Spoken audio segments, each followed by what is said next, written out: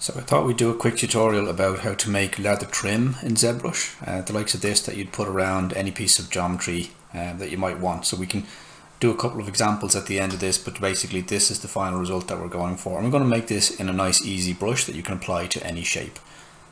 So to start off with, I've created this. This is the, the basis for this, and this is the object that we're going to tile again and again all the way around the side uh, of the brush. So we're going to use a simple brush to do that. I'm going to hold down control and shift so you can see each of these objects um, in their own right. It's a very very simple piece of geometry. Um, I'll bring everything back. This is the center stitch. This is the stitch on one side and the stitch on the other side. So basically those two kind of overlap. Uh, and that's it. That's that's pretty much what we have. I want the surface that we're going to be aligning this to to be on this side. So basically all I have to make sure really is that this side here, the bottom, these vertices are exact mirrors of these vertices and then that way they'll stitch together and everything will work fine. So having done that, we're now ready to actually create the brush that's going to uh, do the, the, magic for us. Uh, so I'll press Shift F so we can see what we're looking at here. Uh, and it's very important when you're creating brushes like this that you align it correctly. If you align your brush like this, when you go to create your brush, ZBrush is going to think that this is the axis you want to use.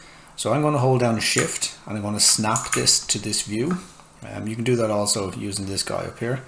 But now that I've, I've got that to one view, I can go to brush and I can go down to create and say create an insert mesh brush when I do that, it's going to ask, do you want to create a new brush or not? Now, whichever brush you currently had selected, um, it's going to leave that here, but we just want to say, yes, we want to create a new brush. So I'll create a new one here, and it's given it the name um, of the subtool that we had in here, which was left. So what I'm going to do now is I'm going to turn this to the other side and press shift as we approach uh, the rotation that we like. And I'm going to rename this to right and I'm going to go back to my brush menu and I'm going to say create an insert mesh again. And now it's going to ask me do I want a new brush or do I want to append it? So I'm going to say append in this instance. So the reason I'm doing a left and a right version of this is because it depends on which version or it depends on the uh, object you're putting on whether you want it on the top or the bottom or the left or the right. So with that done we're now ready with our brush. But if we go to a new object I'm just going to take a sphere here make it a polymesh 3d if I try and draw this out, all we're doing is basically just drawing this mesh out. So we need to make it into a curve brush. So we do that by going to the stroke menu and then turning on curve mode. Now immediately this brush becomes a curve. Uh, the size of your brush will determine uh, how big this is, but you can see that while this is working, it's not stitching them together. So we do that from the brush menu. If your interface is closed like this, all you have to do is double click on this divider here and then once you've done that go to the brush menu and you can just drag that and dock it over here. So we want to modify this so we go to the brush modifiers roll up and in here we have several settings that we want to change. So I'm going to turn off tri-parts. That's for a different kind of brush. I am going to turn on weld points because I want this to weld. And you'll see the next time I click on this it's now welded those points together. And I'm going to increase the curve resolution a little bit and the max bend angle which will basically allow me to get more of an angle on this should I need to. Uh, without that this would, wouldn't bend quite as much. So with that done you'll see that I had the right selected. If I choose the left all of these get reset um, which is unfortunate so you have to turn that off, turn that back on, set this back up again, change your curve angle. The last thing I'm going to do is sometimes in ZBrush um, if you don't have stretch turned on when you do this you get some uh, kind of strange results. So I'm going to turn that on uh, for both left and for right uh, and I'll leave it like that. So this brush now to my mind is, is ready to go so let's use it. So I'm going to go to, uh, I'm actually going to control shift and select my sphere. Uh, I'll go to my stroke menu and I will, functions, I'll delete that curve uh, and I'll also delete hidden from modify geometry, modify topology, delete hidden just to hide that curve that I had drawn out on that and I'll get rid of the mask. So let's say we want to create a new piece of geometry here and we wanted to make, to make it look like a shoulder pad or something like that. So I have my brush is ready to go. Uh, I'm going to hold down control and shift and change my selection brush to something like a slice curve. And with the slice curve, if you hold down control and shift, you can draw out a line If you press Alt, it will start bending that curve, and Alt again will bend it again. So we can start making interesting shapes. We can even hold down Shift and reposition this to a place that we find to wherever we want to have it.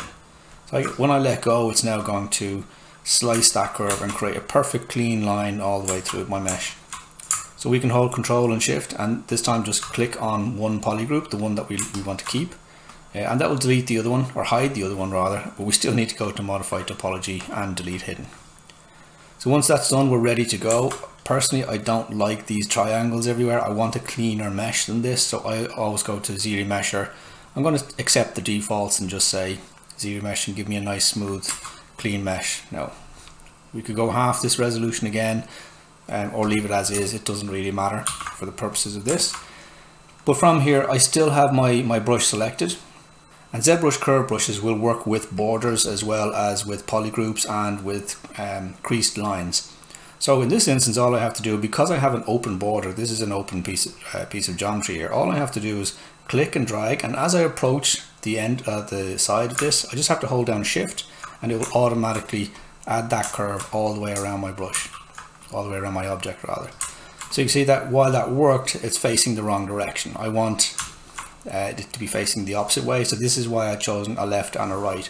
If we click this and change it to the other direction, it will now go to left and be facing the right direction.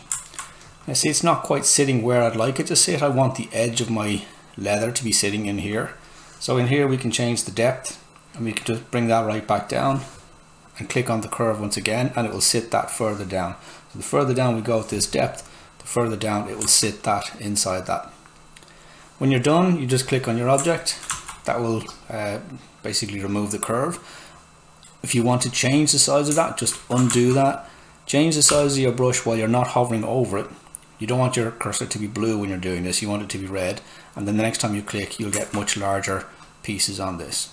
So you can change the depth again if you need to uh, or I'll just tap on your object when you're done go to dynamic and turn on dynamic mode to see your final result so from here you can keep on sculpting uh, you're basically done if you want to see the inside of this we can go down here to display properties and turn on double-sided so we see what this looks like if you do want to actually have thickness to this that's easily done as well we do have two separate objects now uh, one of them is masked and one of them is unmasked um, just by virtue of the way we, we made this. So we can just go down to split and say split unmasked points. And that will separate this object out from our newly created curves. So with our separated object out, we can go to our ZModeler tool, BZM, hover over a polygon and choose QMesh. And instead of just doing a single polygon, we'll say all polygons. And that will allow us to give this some depth. We can basically just push that out to whatever depth we want. Let's turn on our leather trim so we can see, make sure we don't go too far. This looks about right. So from here you can sculpt away and start adding leather textures. If you're creating your own brush rather than using the one I have, don't forget to save it. So press B and your brush will be listed here in the latest brushes that you've used. Just make sure it's the currently selected one. And then go to brush, save as, and save it somewhere on your hard drive.